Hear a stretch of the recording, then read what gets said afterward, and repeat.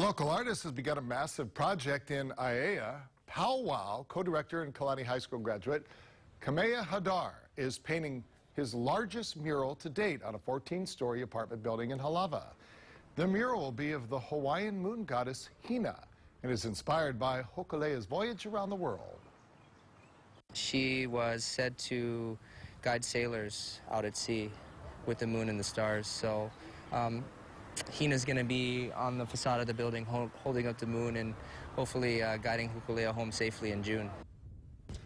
Hadar, best known for his artwork around all of Kaka'ako, he expects to finish this latest project in about two months.